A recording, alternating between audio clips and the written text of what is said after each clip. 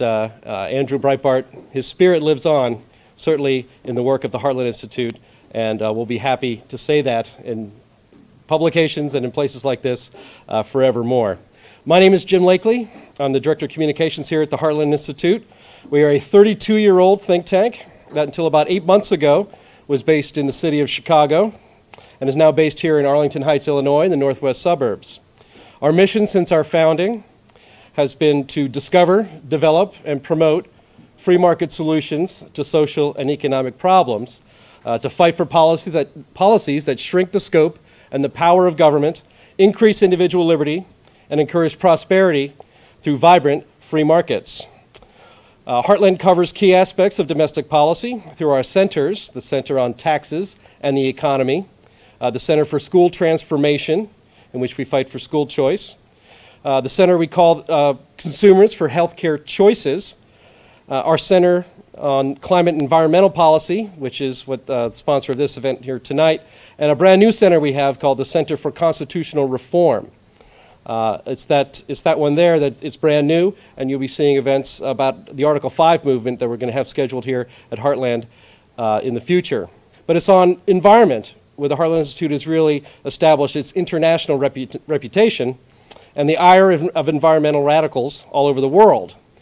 And that is because about eight years ago, we decided it was time to take a closer look at the science of global warming.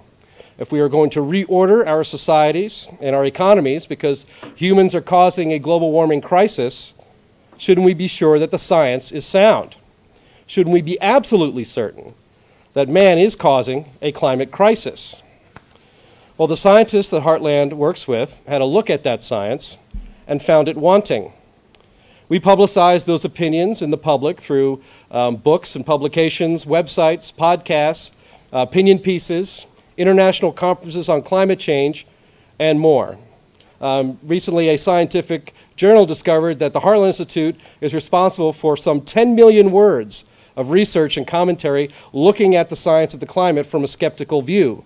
And that's nearly 40% of all skeptical research and commentary around the world from this organization, the Heartland Institute. And one of the scientists who's helped us compile those 10 million words and also um, other research and, and has helped bring a greater understanding of this issue by speaking at four of Heartland's 11 international conferences on climate change is tonight's speaker, Dr. Fred Goldberg. Fred Goldberg is an associate professor at the Royal Institute of Technology in Stockholm and an authority on polar history and exploration. He has been an, an invited lecturer at more than a dozen universities around the world and has participated in numerous conferences worldwide. He has published in more than 12 languages on the topics of thermal cutting, mechanized welding, laser processing, and seam tracking systems, which I'm sure he'd be happy to explain to a lot of people in this room later, as well as polar history and ex exploration. In 1966, Fred Goldberg participated in the Stockholm University Svalbard expedition with Professor Walter Schytt and Professor Gunnar Hoppe. In 2004, he formed an infor informal international network to study and distribute information about climate change and global warming. And in 2006, he was appointed Secretary General for an international climate seminar at the Royal Institute of Technology in Stockholm. Ladies and gentlemen, please welcome our guest tonight, Dr. Fred Goldberg.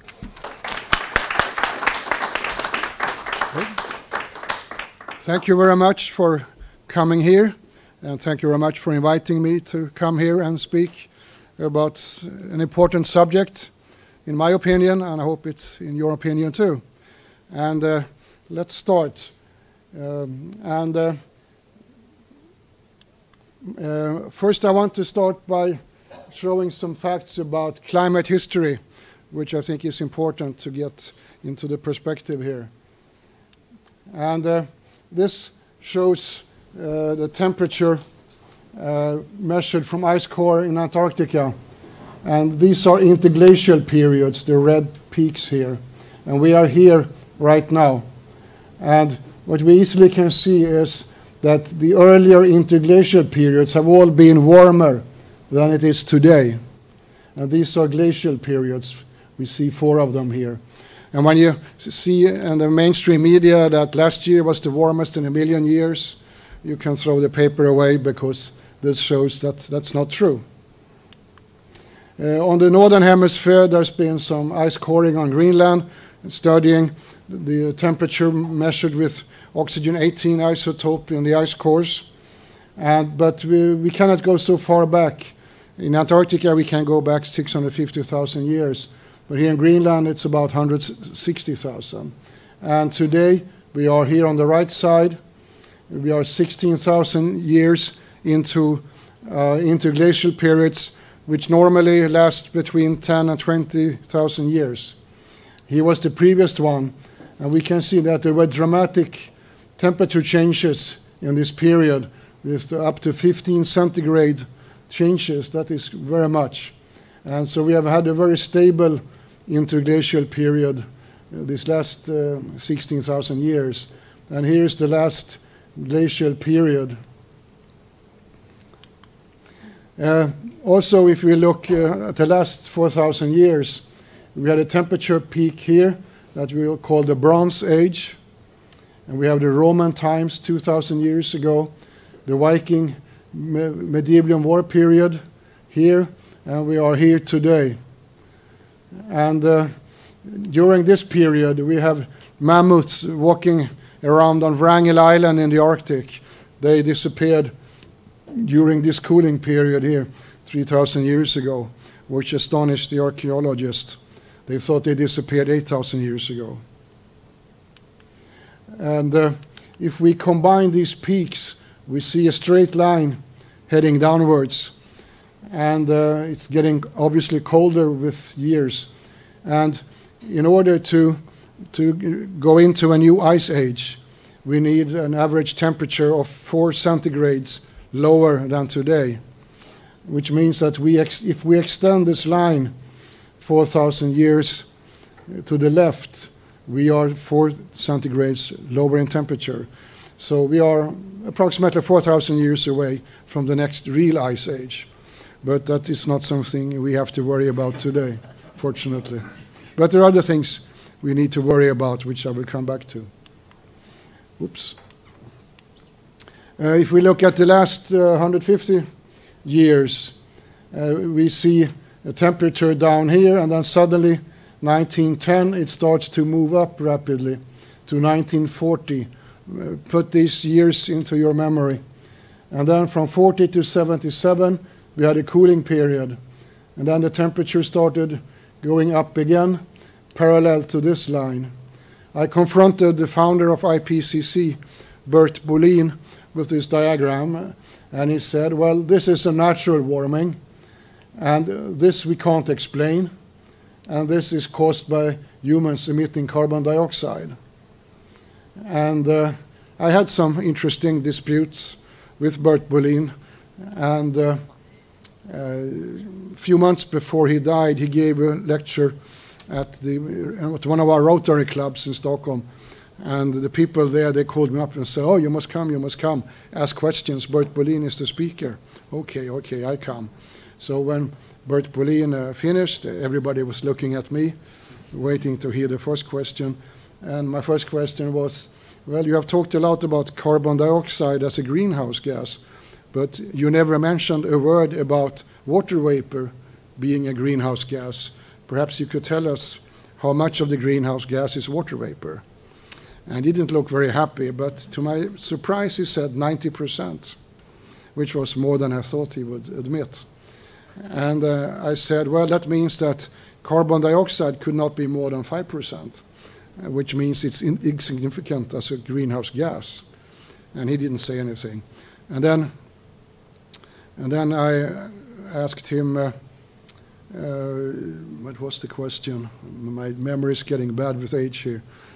Uh, but I think it was uh, something about the fact that we have emitted a lot of carbon dioxide the last 15 years without any global warming. And uh, uh, he admitted that, and he, he fell off the throne at that meeting, and uh, people were quite shocked. Well, he, the reason we have a cooling here, I will come back to, and also why we have uh, an increase here. there are explanations for that that Bert Bolin did not uh, handle. But in, in 1977, uh, people, the experts, I should say, they were warning for the big freeze, the new ice age coming, big articles in Time magazine. And three, four years later, the same people were warning about humans causing global warming. So that's one way of getting attention in the media. And then uh, this is uh, the British uh, Institute, uh, Hadley Institute, uh, um, putting it down the global temperatures month by month. And here we see a very rapid increase. And this, of course, is said to be caused by human emissions. Well, what really took place is the following. Uh, here you see the good global average temperature year by year, and here's the amount of weather stations recording the temperatures. And they slowly went down, and here something dramatically happened. They fell down very rapidly.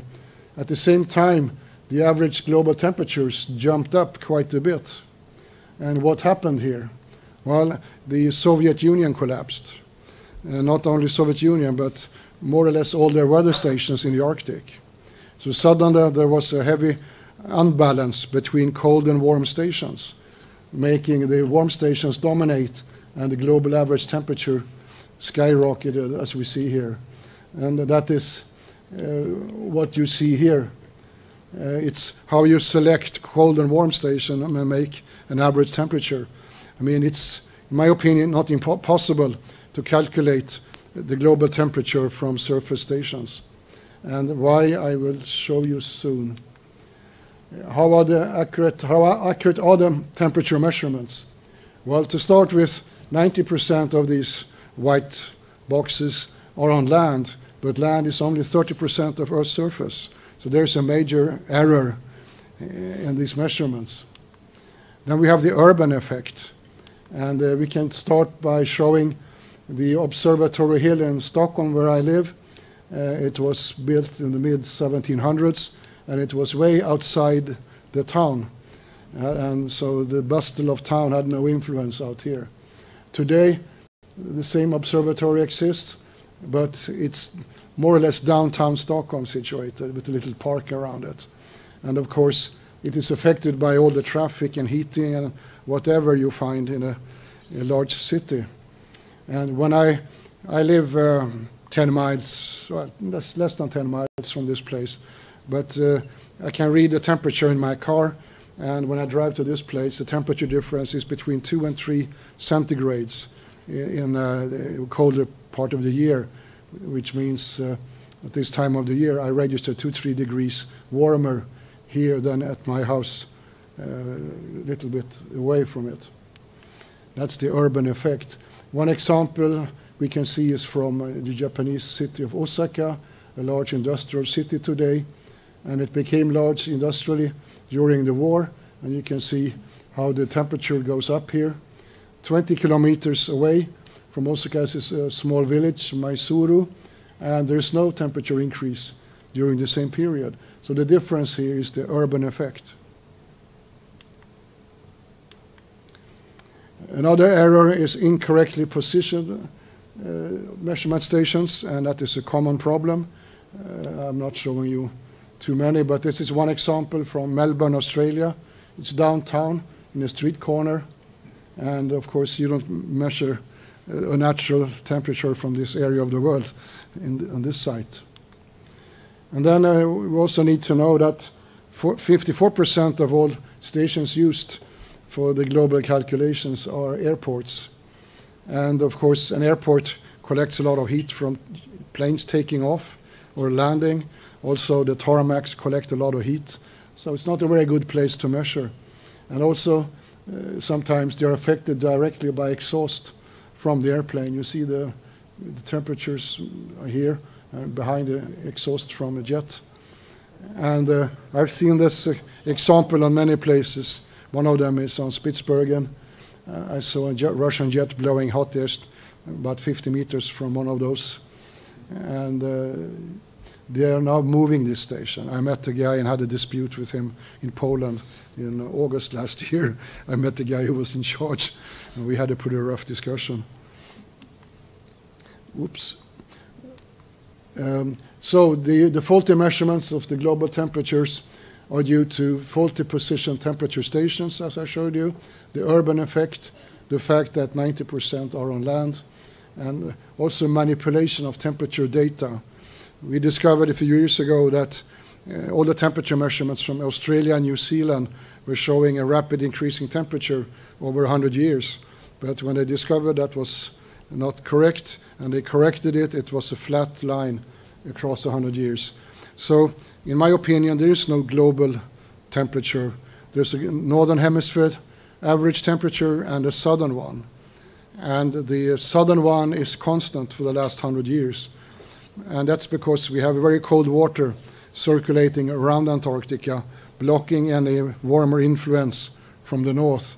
And of course, the Antarctic continent makes sure it's pretty cold uh, on the southern hemisphere. On the northern hemisphere, we have climate changes due to solar effects and due to ocean currents, which I will come back to. This is an interesting diagram our friend Roy Spencer put together.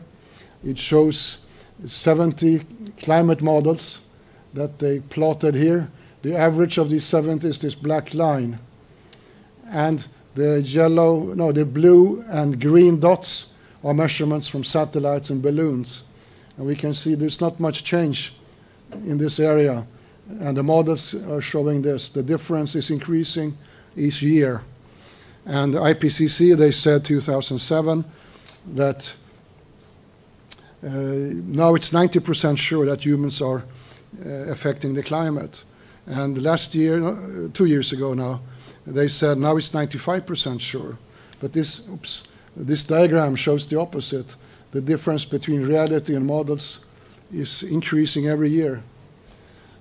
But then the question is, why do you have 70 models? I mean, if you have one correct model, that should be sufficient. But they have cost billions of dollars, maybe 50 billion of dollars. That's the cost for this, for nothing, no good use at all. And why it's not good uh, is here. Uh, the IPC climate people, they have very little knowledge about cloud formation. And the amount of cloud cover on Earth is very important because that's a, major factor influencing the climate. But it's very difficult to calculate that, so it's not in the models. The, uh, and uh, at one meeting, also a Rotary meeting, the head of the uh, Stockholm University Meteorological Institute gave a climate lecture. He's an old friend of mine. I didn't want to embarrass him too much. But I asked one question, and that is how large is the average cloud cover on Earth? And he said, I have no idea. And I said, well, if you don't know, how can you make a climate model not knowing what the most important factor is? And he, he gave up. and was embarrassed and went home and started screaming and yelling, probably. And uh, also, the climate is a chaotic system that is fairly well known, and therefore it cannot be modeled people who have some knowledge in mathematics, they know that it's impossible to model a, a chaotic system. So you could scrap any model based on that fact. Another important issue is that no climate model has been verified. And when, when you deal with models, you can't use them until they have been verified. That's common practice in any field of economics or whatever. But no climate model has been verified because it takes at least 60 years to do that because the shortest climate cycle is 60 years. So there, there's a third reason why you can throw away any climate model. The only way to have a decent measurement of temperatures globally is made from satellites because when they circle in a polar orbit, they cover all surfaces of Earth, oceans and land masses, and they give a fairly accurate result which is reported by Roy Spencer from University of Alabama in Huntsville. And uh, when we look at the satellite measurements, we can see that since 2002, when we had uh, the solar intensity maximum, there's been no climate uh, temperature increase.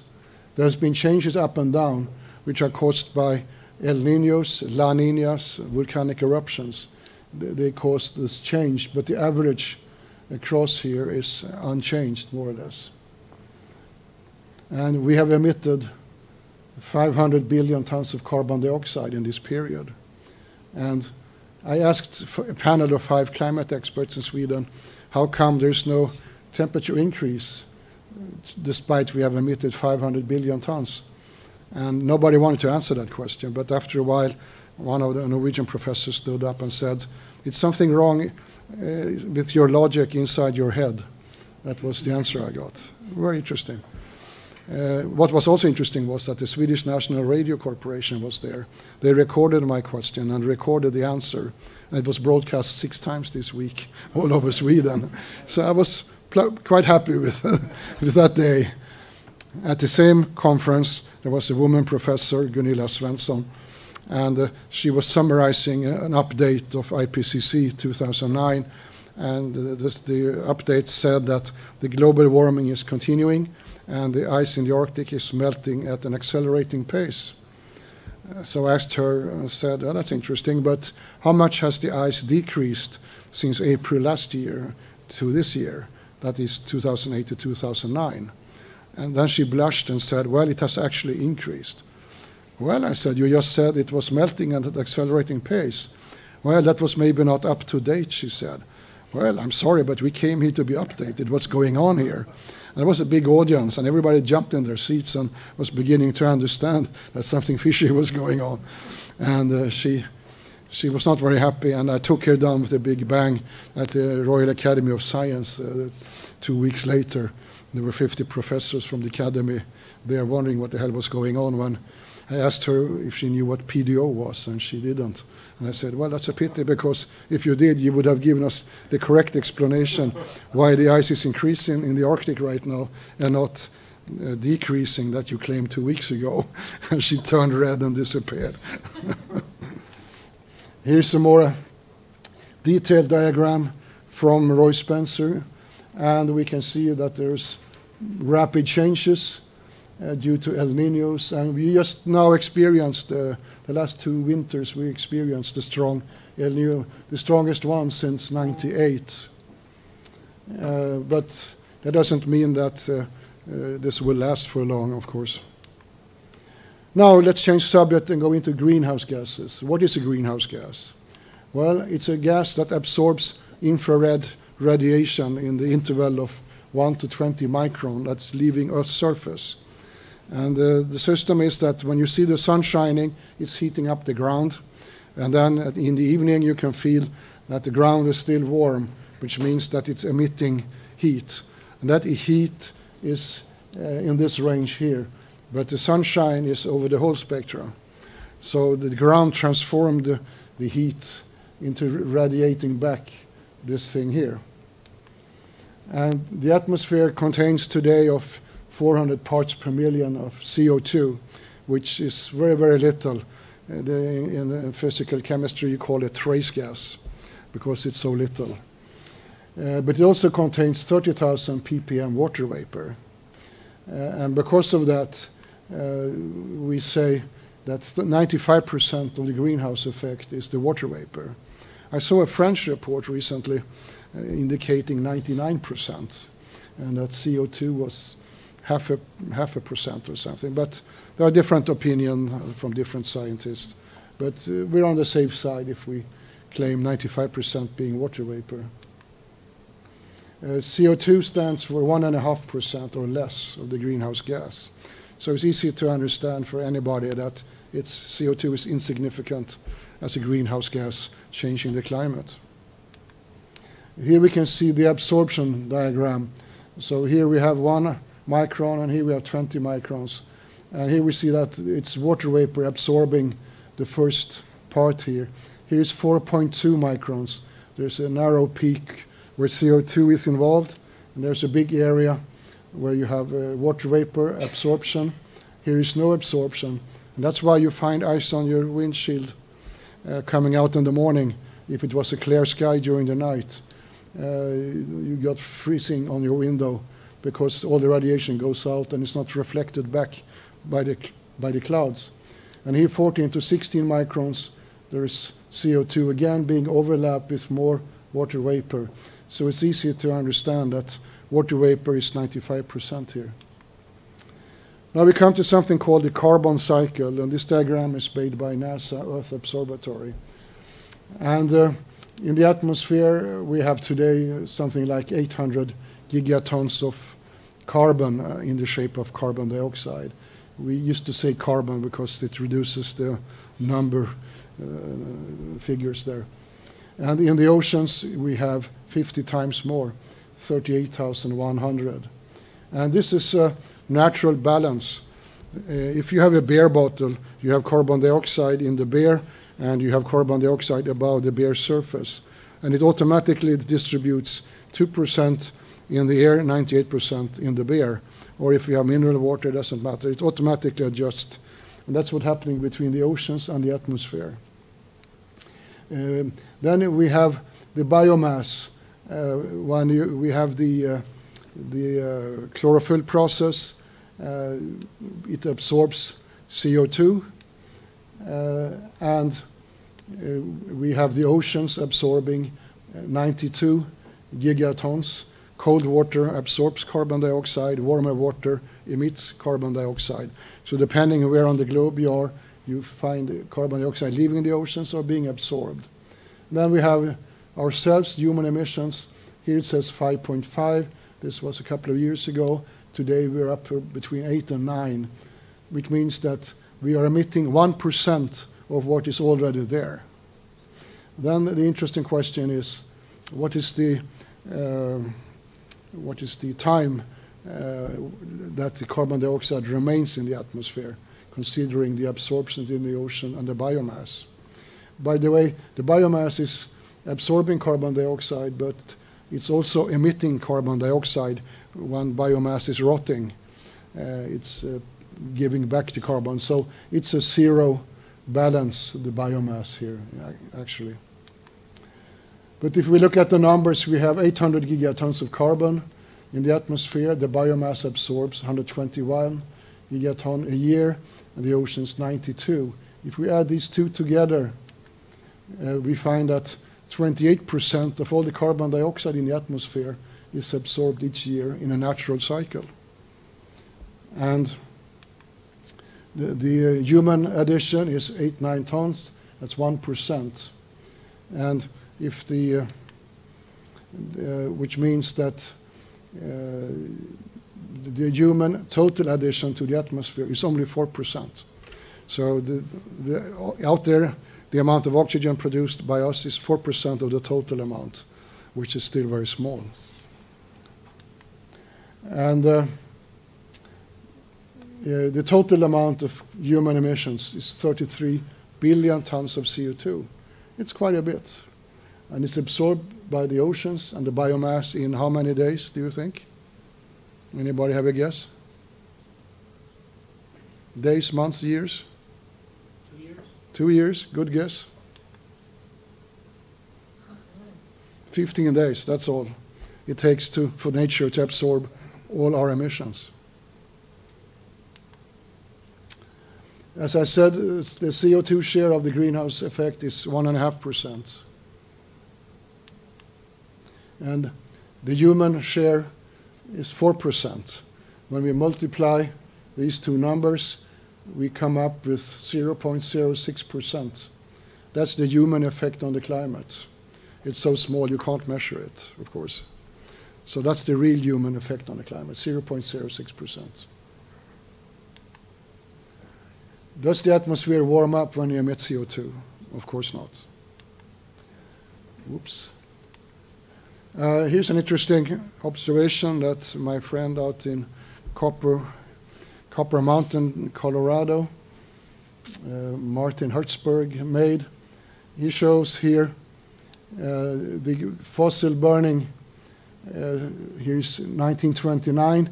Then we have the Depression, and the fossil burning went down 30%.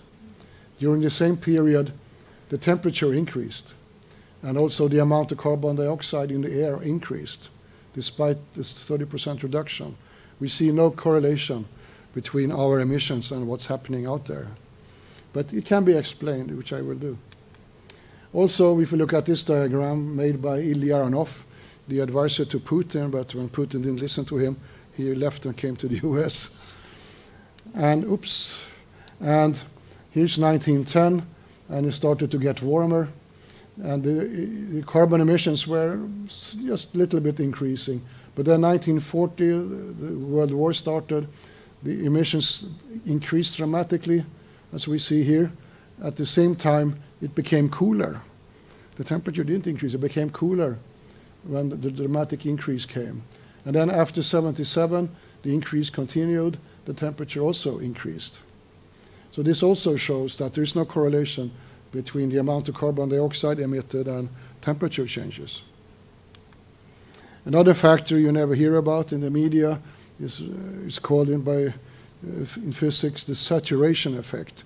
It means that the amount of carbon dioxide in the atmosphere is not correlated to the greenhouse effect. Uh, you have you saturate it at a certain level. There is no more influence of carbon dioxide. It doesn't matter how much you add on. You can only paint a glass window white uh, until you can't see through it. Then it doesn't matter how much paint you put on it. It's still white. And here the diagram fools you a little bit because it starts at 230. So you have to think this line going down below the floor here. So the first molecules have a very strong greenhouse effect, and then it tapers off here rapidly. And if we look at uh, the year 1900, we had 280 ppm in the atmosphere, and that corresponds to 257, 58 watts per square meter forcing. And then if we double that value, we end up to 560, and we come up here, and it's 261. It's only 3, 4 watts change. It's not 500 watts change, it's just 3, 4. And that shows the saturation effect. Today we have 400 here. If we double that to 800, it's just a few watts increase in forcing. So we don't have to worry about uh, increasing temperatures the next 100 years or so. We can also display the same effect by histogram made by Archibald from Australia. And uh, here we see the first 20 molecules. They made an effect of one and a half centigrade. The next 20 molecules, 0.3 degrees, 0.2, then it tapers off. And uh, 100 years ago, we were down here, 280, and over the 100 years, uh, we increased the carbon dioxide 30%, but uh, the, the temperature effect was only 0.2 centigrades. And another uh, will be less increase and so on. This is also one of those interesting diagrams for our course. Uh, the red line shows a model uh, how the temperature will increase with increasing CO2. Well, the real world is down here showing a constant uh, temperature uh, and uh, the difference is increasing every year. So this is based on models, of course. It says up here, and has nothing to do with the reality. So why has there been a 30% increase of CO2 during uh, the last 100 years? Well, as I said, uh, it depends on the temperature of the oceans. And uh, during the last 100 years, the solar intensity increased coming back out of the little ice age. And it peaked at 2002. And uh, the oceans were warming up about one centigrades, which released carbon dioxide. The problem is that very few scientists in the world know how, how sensitive the oceans are to temperature and the release of CO2. Uh, I've been searching that data for a long time all over the place in chemist, Handbook of Chemistry and Physics, no, and so on. But I happened to bump into one professor from Columbia University. And here I had to make my own diagram to show Uh, for fresh water at, at 5 degrees temperature, it absorbs 3 grams of carbon dioxide. At 25 centigrades, it absorbs only half as much. That's why when they produce mineral water, sparkling water, the water temperature is 5 centigrades, and then you pump in the CO2 and it's instantly absorbed at that temperature, and that goes for beer too, of course. And also the oceans are pumping uh, the carbon dioxide in and out with the seasons, in large volumes. But what happens if you have ocean water? Well, the result I was told is seawater absorbs 73 times more CO2 than fresh water. That's why we get this 30% increase when the oceans were warming up only one degree. That was enough to release 30%.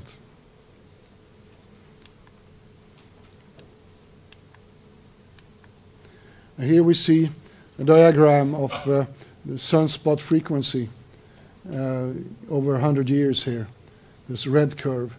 And here we see the sea surface temperature uh, following in parallel very accurately. And when the sea surface temperature is increasing, it releases carbon dioxide. So this is the, the accurate explanation.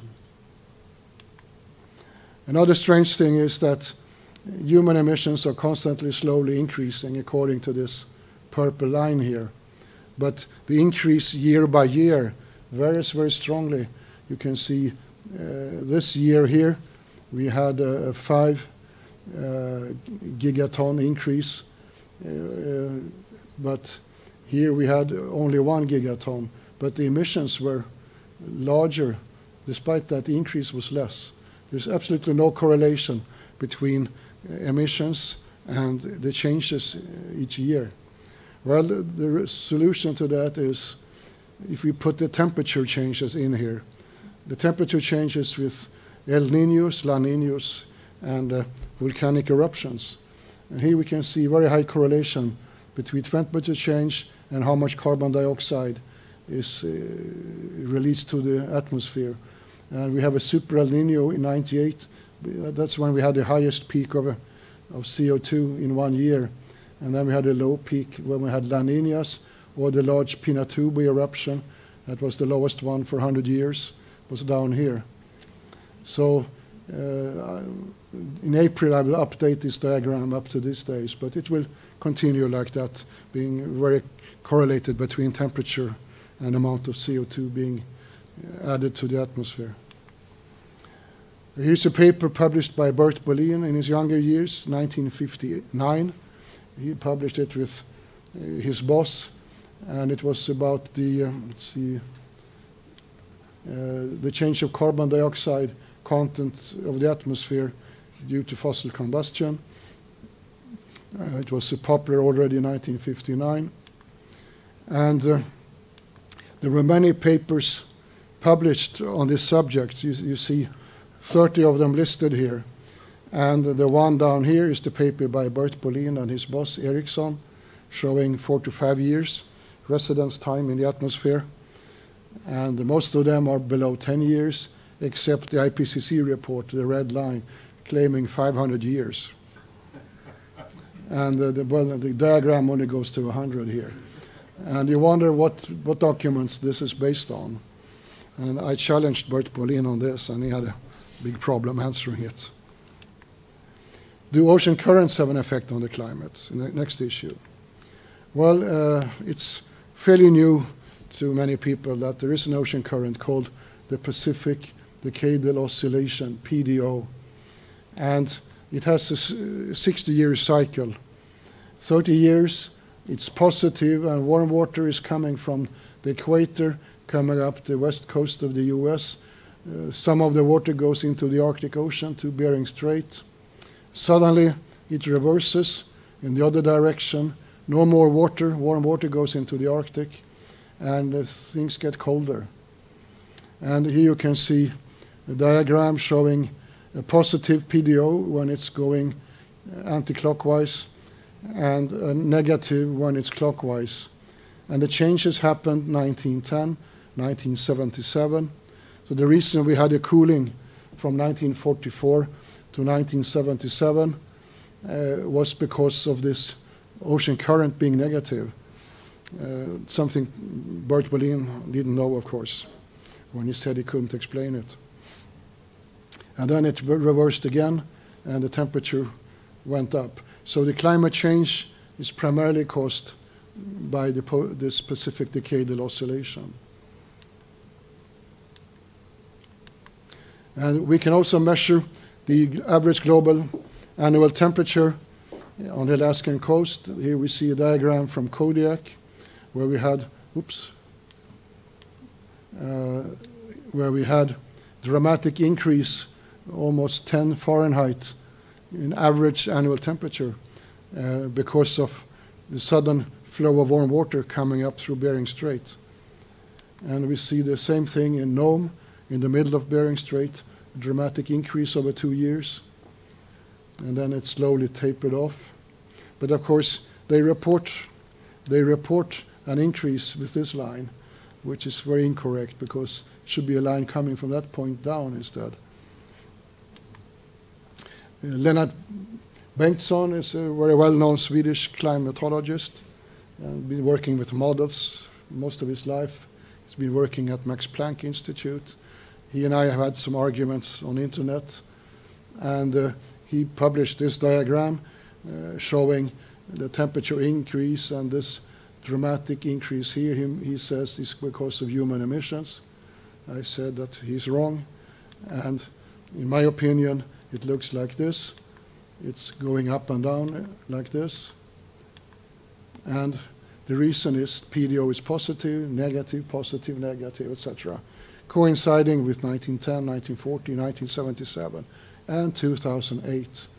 I happened to be in California 2008, giving a lecture at California Institute of Technology. Then we went, my wife and I, to Tucson, Arizona to see friends to play golf. When we woke up in the morning, there was no water in the bathroom. When I was going to take a shower, uh, my host uh, woke up and we discovered that all the water pipes had frozen in the house. It was minus five centigrades outside. Never happened in the history of Tucson. It was the PDO that switched. The uh, fruit harvest uh, was, was, yeah, the fruit harvest was destroyed at the bill of one and a half billion dollars as you know. And um, I met a very distinguished uh, economist, Swedish, Kjell, uh, what was his name? Uh, Kjell Nordström. We sat next to each other on a flight to South America. And uh, I asked him, do you think that the fact that one and a half billion dollars disappeared from the market could have caused a financial crash? And he said, well, I haven't thought of that, but that could be very possible if suddenly one and a half billion dollar disappears, there's a problem. You know, the domino effect starts. So it could have been the cause for the financial. It would have happened anyway. We know that, but uh, something had to trigger it, and I think this triggered it. Uh, which factors control climate change? Well, the solar activity influences the magnetosphere, and uh, I don't have time to explain this more in detail. It's a Danish scientist called Henrik Svensmark who discovered this, who has been harassed by governments all over the place and lost his funding and everything because if people accept what he's saying, IPCC falls together like a card house. But, uh, the, but what I believe is true is what he says. He will have the Nobel Prize, but it will take a few more years. But uh, when the magnetosphere is strong, uh, the cosmic radiation from exploding stars out in Milky Way will be uh, what you call it deflected back. It doesn't come into our atmosphere. But if the uh, if the uh, magnetosphere is weak, which it is, if the solar wind is weak, then the cosmic radiation goes into our atmosphere and it forms clouds and we have more than average clouds and it gets colder. So it's the amount of cosmic radiation caused by the, the solar wind that decides uh, our climate primarily. And secondarily, we have the effects of the ocean currents, volcanic eruptions, and so on. But the primary effect is what's going on with the sun and the solar wind. And the, the secondary effects is ocean currents and so on, and the volcanic eruptions. What will the climate be in the future? Well, many people want to know that. And uh, I was invited keynote speaker thanks to Admiral Lawson Brigham, who had to cancel his speech in, at the Polar Conference in Sweden. And I said I can step in for him. He's a friend of mine. And they accepted my suggestion. And the, conference was about setting up uh, harbors in the Arctic. Now that all the ice is disappearing, we can send ships over the North Pole and all that. So all the people, you know, building harbors, building ships, and God knows what came to this conference. And then I, I told them the real story. And they were, of course, very shocked and put the coffee in their throat. And uh, I said also to them, according to my studies, we will have a very cold winter coming up, 2010. And they got their coffee twice in the throat. And uh, uh, they didn't believe me, of course. But when they discovered I froze their butt off the coming winter, they came back to me and said, Oh boy, you were right. What's next winter going to be? I'm sorry to tell you, but it will be colder. and then they hurried home and isolated their houses and bought a new snow mover, etc. And uh, I was right again. And uh, it was quite fun. But that's when you look at the solar cycles. Uh, there are different cycles. The shortest one are 11 years, the sunspot cycles. But then you have uh, about six important cycles that Habibullah Abdusamatov have uh, identified and added them up. And uh, what we can see here is that the sunspot frequency has been fairly even over a long time. The, these are uh, these 11-year cycles, sunspot maximums, and the minimums are changing a little bit. But then suddenly it dropped down to almost zero.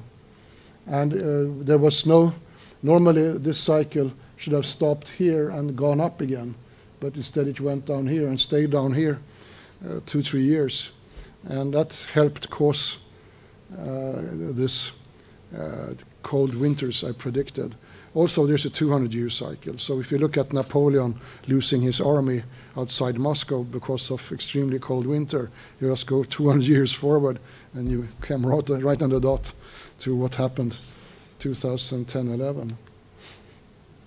Well, this is Habibullah Abdusamatov's diagram, adding all these cycles together.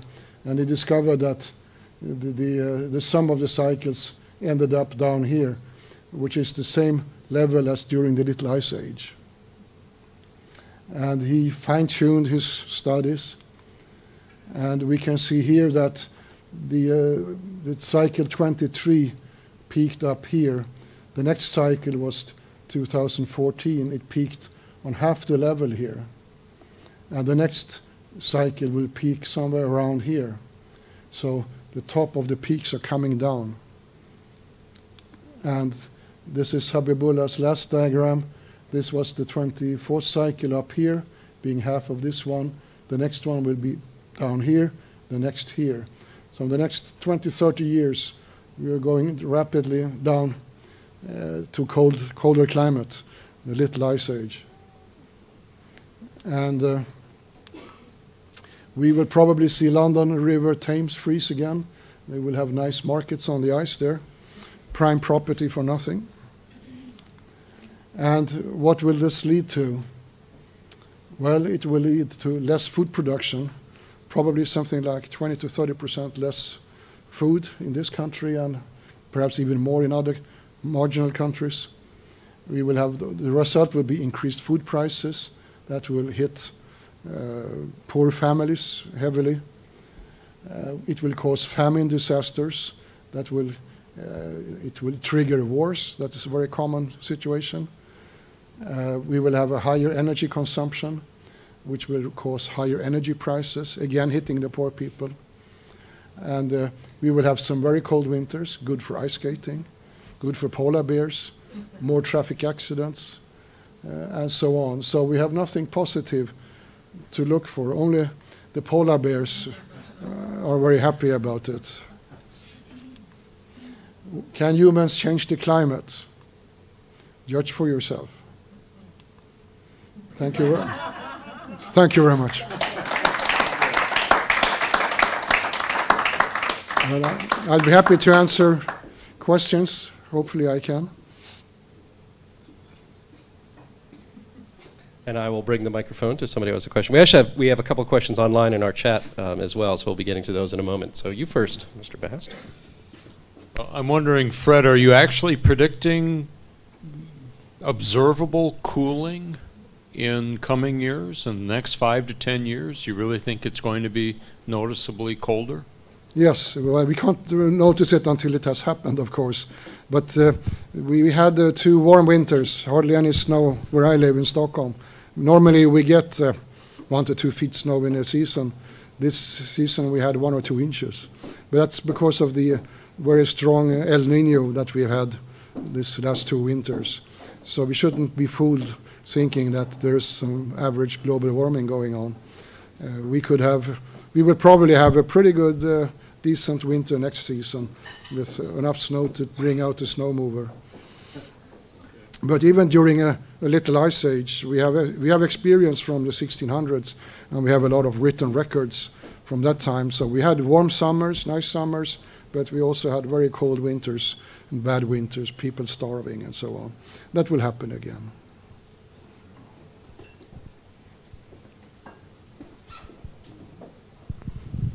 Fred, thank you so much for the presentation. I thought it was fascinating.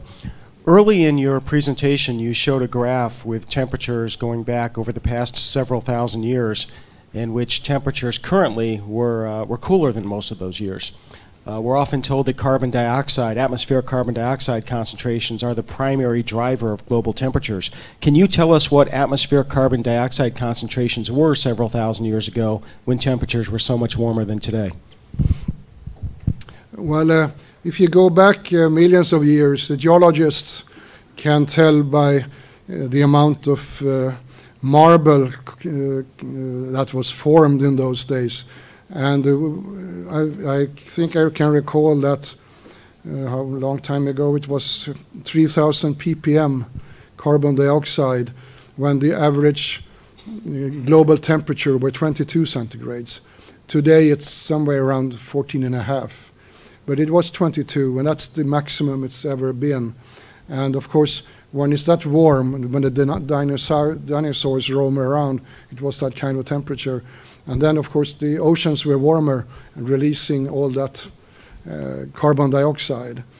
Uh, so the amount of carbon dioxide in the atmosphere is directly correlated to the sea surface temperatures over, over the years. But 4,000 4, years ago, uh, relative to today, temperatures were much warmer. Yeah, it was uh, 3 centigrades. So there must have been uh, uh, much higher carbon dioxide concentrations in the atmosphere at that time, yes. Okay, um, and I forgot to mention, please identify yourself so that uh, Dr. Goldberg know who he's know who he's speaking to. Hello, I'm Larry Greenberg, and my question is this: um, Back in the days of uh, fear of global cooling, 30 years ago, 40 years ago, um, we were uh, motivated by clean air to reduce the concentration of carbon dioxide, sulfur dioxide, et cetera, and a number of uh, governmental uh, programs were put into place, certainly in this country and in many other Western countries, to uh, cut that down. So per perhaps, although maybe not so much in China, uh, we have um, eliminated or greatly reduced the health impact of carbon dioxide, sulfur dioxide concentration. So now we have uh, fears of global warming from carbon dioxide. What's the, what's the actual health risk to human beings of carbon that we breathe. You're bringing up a very important subject, and uh, what is important is not to mix up climate change and pollution. They're two very different things. I mean, when you burn coal in a plant, you generate carbon dioxide. That's not a problem. But you also generate sulfur, uh, heavy metals, and uh, other not so good stuff. And uh, that is today with modern technology being taken care of. So the what's the major uh, things coming out of this smokestack is carbon dioxide and water vapor. The rest is to 99% taken care of. Not in China though. They are badly suffering from uh, all the pollution. But the people who promote global warming, they they purposely mix up the climate change and pollution because it's easier to tra transmit the message you, you must stop burning something producing carbon dioxide because you pollute. And, that's easy to understand to people. Most people don't understand that the carbon dioxide itself is very beneficial. It increases food production, and uh, a lot of other good things happens with carbon dioxide. And uh, it's interesting. You remind me of something that happened 2009. I, I bumped into a, a, Chinese person in Sweden, and he was very fascinated about what I was talking about the climate, uh, and wanted to get acquainted with me. So I decided I want to write a letter to the Chinese leadership. Uh, it was one month before the meeting in Copenhagen. And uh, I asked if he was willing to translate my letter to Chinese. So he said, oh, sure. So I wrote a one-page letter explaining that that in China they should not uh, uh, worry about emitting carbon dioxide with all their coal plants. They should worry about the pollution and make sure they don't pollute. There are modern techniques to avoid that. And uh, guess what happened? A week after I sent my letter, I was told by the, the, Chinese correspondent in Sweden, which I happen to know, that in every newspaper in China, my letter was published. And another week passed, and a, a television crew from China came to interview me. And secondly, when the Chinese delegation came to Copenhagen, when they discussed cutting down carbon emission, there was a cold hand from China right away. I don't know if it was on my letter, but maybe. But it was interesting, and it was bloody cold in Copenhagen. when I was there one day, and it was bloody cold, and the people giving money to Greenpeace and World Wildlife, they could see where their money went. It went to advertising. The whole airport was full of posters. Terrible. Well, I guess re uh, relating to um, state-controlled media, maybe it's not all bad. no, but the main issue is not to mix up uh, pollution with climate change. And there is no evidence that carbon dioxide emissions is changing uh, our climate. I've asked my opponents, show me the evidence they disappear very quickly. I never see them again. Well, speak, speaking of that, uh, uh, Dr. Goldberg, I say hello to our people watching the live stream. We have several questions in the chat room. Uh, this is from Rick Sheck. Hello, Rick. Uh, Dr. Goldberg, you alluded to at least one IPCC scientist who threw in the towel on AGW. Have you seen any others back away from the IPCC's increasingly untenable position? There have been a few. Uh, I don't know if I can recall any specific person right now, but uh, Chris Landsea, for instance, he was sub submitting uh, information about uh, hurricanes and so on, and he said that the amount of hurricanes was decreasing over the years. But in the IPCC report, the editor wrote the opposite, and he protested and he threatened to sue IPCC if they didn't change it. But they didn't change it, but they, they removed his name from the report. So, and there was a, there's a New Zealand, uh, probably the most knowledgeable person on, on, climate issues. His name is Gray, Vincent Gray. He sent in 1,000 comments, uh, more than 1,000 comments to the IPCC report. They didn't take any one of them into account. There's another one called William Gray from Colorado. Uh, he, he was not mentioned in the IPCC reports, and they asked him, well, well, they know my standpoint, and they're not interested in it.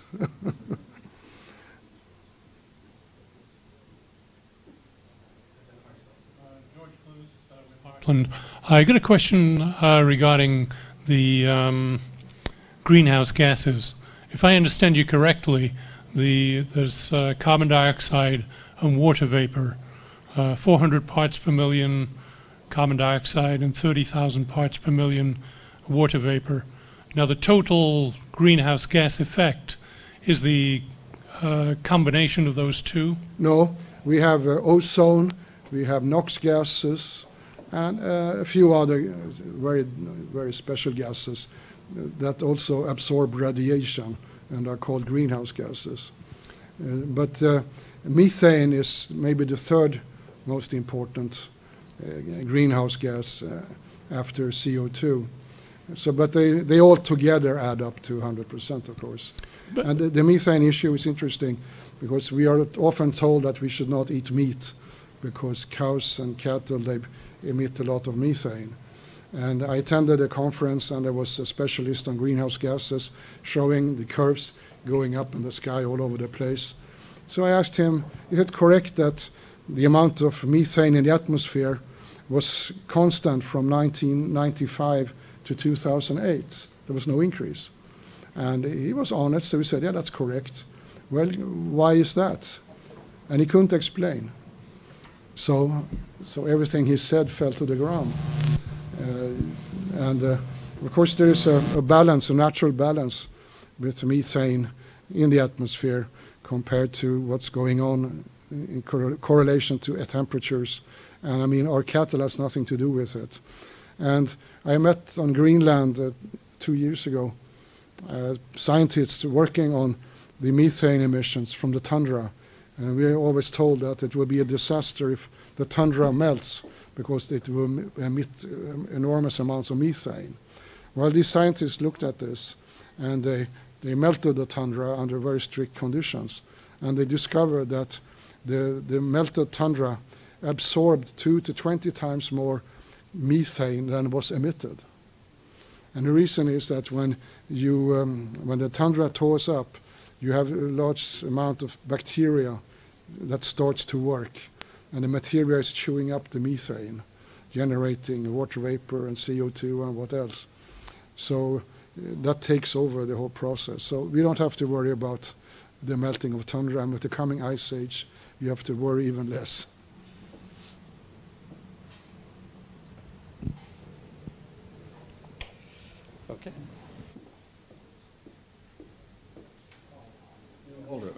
Uh, Richard Vetter, uh, I appreciate very much your, your presentation. I would hope there's a, a paper or something that has a number of these charts available. Um, If not, I would like to have those. Uh, I'm going to make some comments, and then I've got a, a number of questions. Um, I have been putting together numbers here for quantitating CO2 and climate change and allowing for the greenhouse gases and making a number of assumptions. One of those, uh, well, there's more than one. One is the, that about 97% of uh, climate effects is from natural sources, uh, 3% from gre- greenhouse gases. And of the greenhouse gases, I have numbers pretty close to what you presented. Uh, 95% of that is, uh, is water vapor. Uh, 4% of that 3% is carbon dioxide, and roughly 96% of the carbon dioxide is from natural sources. So when you put, do the calculations, I come up with a factor of 0.0048 as the potential probability of CO2 by anthropogenic sources having an effect on climate. Now, um, I- I'm going to go back over your numbers. Hopefully, I took down numbers Yeah, properly. Yeah, well. I, well, I said 0.06, and you were saying 0.48, so it's not very far away. Not too far away, okay. Um, Now, the other, another comment is, I think, uh, is it John Casey in his Dark Winter, uh, the book he presented, he uh, was sort of paralleling what you're saying here on sunspots. Uh, And were looking at the next two decades as uh, def- definitive cooling periods. Um, Now,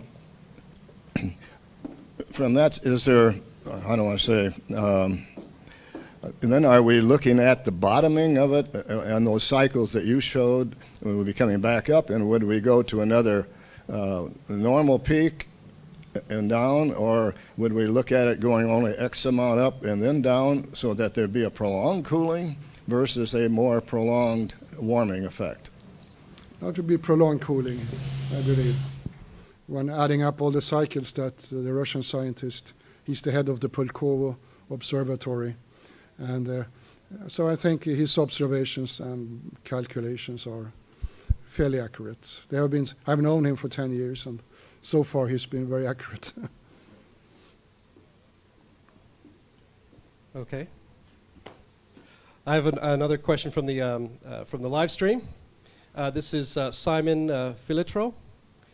Question for your guest. How many parts per million CO2 are humans adding to the atmosphere through fossil fuel, cement, and land use changes? Um, Simon says he finds numbers in the range of around five parts per million for 2013. So, how would you comment on that? Uh, I haven't looked and calculated just that issue, uh, but uh, uh we emit uh, 8 9 gigatons a year, and that should come up with uh, four, four and a half parts per million equivalents to that, if I remember the, the formula right. So it's fairly close.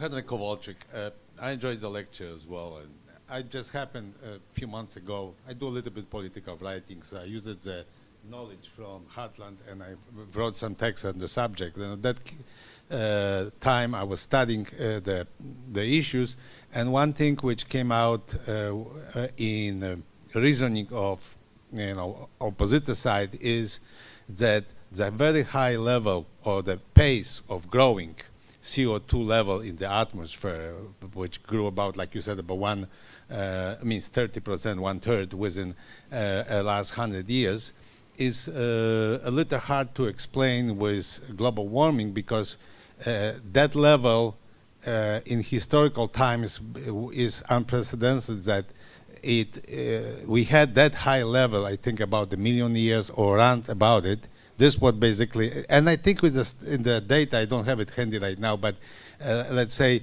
we had that uh, uh, global, uh, I mean that period of warm and, and uh, cooling within about that 100,000 years, uh, you know, cycle, and in those with that was last 100,000 or just about years, the level of CO2 wasn't as high. So, so basically, the argument is that the only change is the human, uh, you know, action. No. And uh, on that margin, I just read somewhere recently. I want to ask you whether you see any reason, I mean, any uh, sense in it. Uh, someone uh, said that about 100 years or 150 years ago, in the let's say second half of 19th century, uh, mostly in Europe, Northern Europe and also in uh, North America, there were a big reforestation pro uh, projects. So basically, the you know uh, those trees with like you know uh, oaks or whatever uh, with leaves were replaced with pines because pines grow fast. And th th there was some scientific study which I just heard about it that pines, uh, when it comes to that photosynthesis, don't take as mine of Uh, uh, uh, CO2 as you know oaks and other those leaf-bearing uh, trees do. So that 100 years increase of CO2 could be explained by that reforestation project. I don't know how how big those reforestation projects are. I just happen I'm coming from northern part of Poland, so I have seen a lot of forests when I was growing up, which were the pines in the rows. So I know, but I don't know if this, you know, has any bearing from the, your perspective. I, I don't think that's uh, correct. Uh, I understand that the increase of CO2 in the atmosphere uh, makes trees grow faster. And somebody calculated that the total Swedish production of paper, which is pretty big, is, is taken from only the increase of the forest growth based on the increase of CO2. Uh, and there has not been any replacement of oaks uh, with uh, pine or something. they don't grow in the same areas, so it's not possible to to do that kind of replacement in general. so and that's not a factor. But another important thing you said that uh, is incorrect is that uh, nobody has measured the carbon dioxide content in the atmosphere going back thousands of years uh, properly. There was nobody having instruments for that, of course. But they, they measure the carbon dioxide content in ice cores from Antarctica. And they show how it changes. And there was a lot of debate if the, if the temperature change was caused by increased carbon dioxide or not. And then when they analyzed it carefully, they found that the carbon dioxide increase came after the temperature increase and so on. But the bottom line is that it's not possible to measure carbon dioxide in ice cores because there are, there's a publication uh, made by the Norwegian Polar Institute and also a Polish scientist, Jaworowski, who was a good friend of mine, uh, uh, that showed 20 reasons why it's not possible to measure carbon dioxide in an ice core. So all those values are incorrect that are published. And they show 180 ppm uh, and that kind of area. Well, the, evidence that it's all wrong is that if there was such a low level of carbon dioxide in the atmosphere, all our plants would die. They need more than 200 ppm to survive. So they would have disappeared, but they didn't. Obviously, it, it's, it's incorrect. But also, there's a Dutch team in Utrecht uh, who studied uh, previous carbon dioxide contents by studying the amount of uh, cells uh, on the back of leaves. And the more carbon dioxide in the atmosphere, the, the fewer uh, stomata cells they have, because they want to have as few as possible, uh, and they will absorb the carbon dioxide for the chlorophyll process. and by finding plants that's growing in the same place over 10,000 years.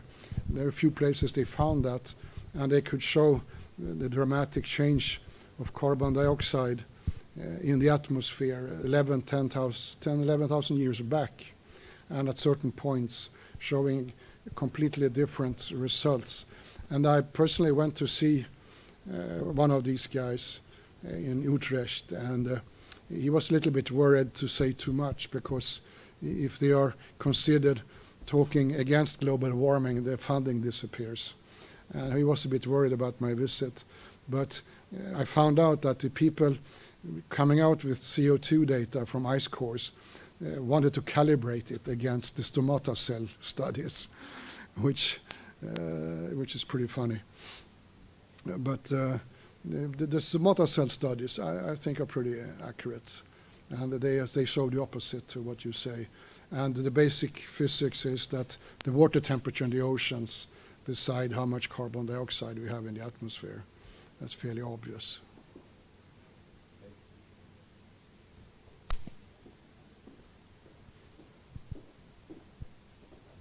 Uh, two questions.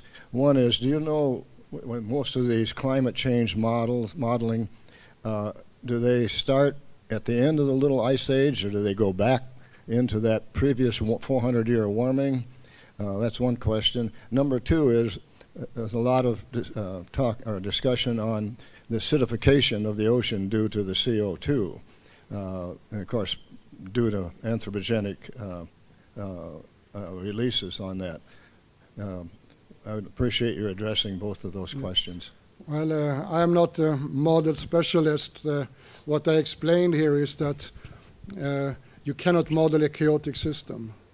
Uh, so that knocks off all model discussions.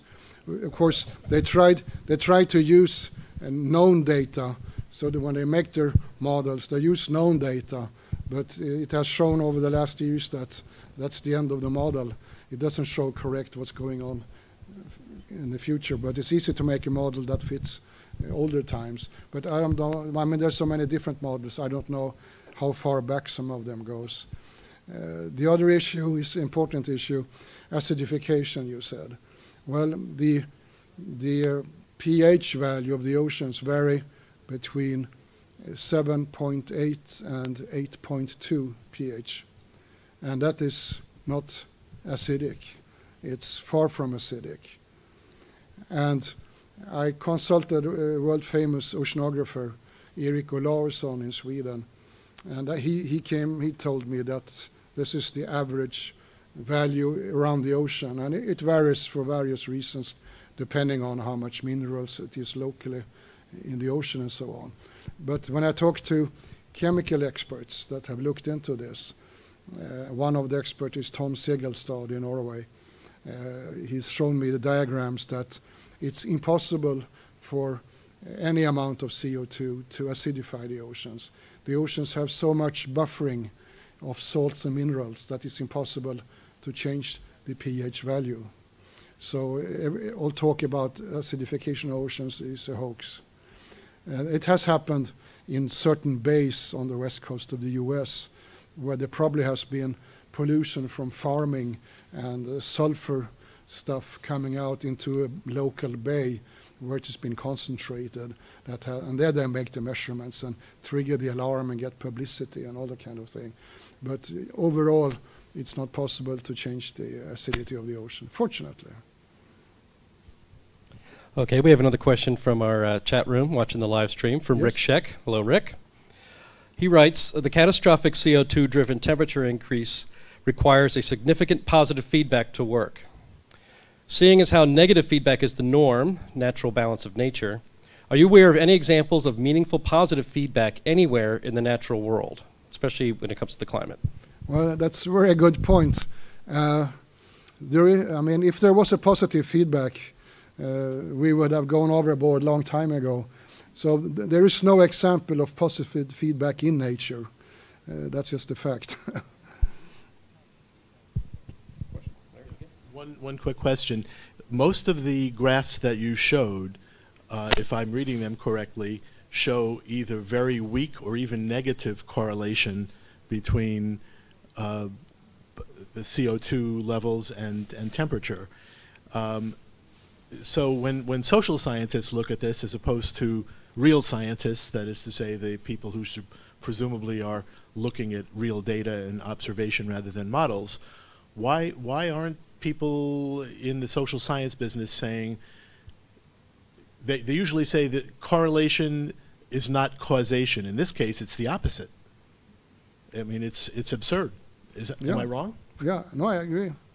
Now, the- the sad thing is that the politicians have decided what's going on. Doesn't matter what the scientist says. And um, I mean, you can start by looking at the, the uh, IPCC founding charter, writ- which was made up by Bert Bolin and Maurice Strong. It says that the purpose of IPCC is to show that uh, humans are changing the climate. That's the purpose. So, so yeah, it's theology. So I mean, it doesn't matter. Therefore, they neglect all reports showing the opposite. They're not allowed to show that. And uh, a typical interesting thing that happened recently, uh, I saw in a newspaper a month ago in Sweden a citation which says that the climate threat is a theological issue. And I showed that citation at my talk at Rotary, and I asked who said this. And in the audience, there was a priest. So I asked him, who said this? And sure enough, he said, the Archbishop.